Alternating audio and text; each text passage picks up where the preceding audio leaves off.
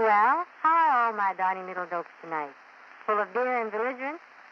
I know. You still hate us, but don't let that hate keep festering. It poisons the whole system.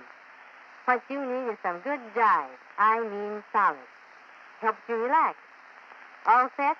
Okay, here's the first blow at your morale. Kay Kyser swinging and singing.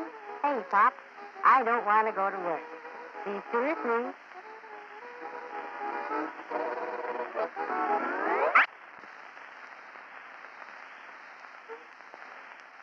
Until then, this is Orphan Ann, your number one enemy reminding you GI, always to be good.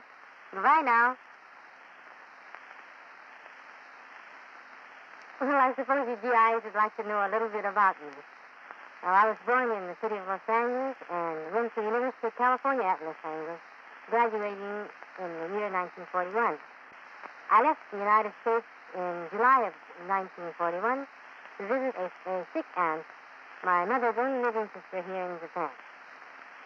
Uh, when I realized that the situation between the United States and Japan was getting a little strained, I went through the proper channels to try to book taxis on the Tatsuta Maru, which was scheduled to leave for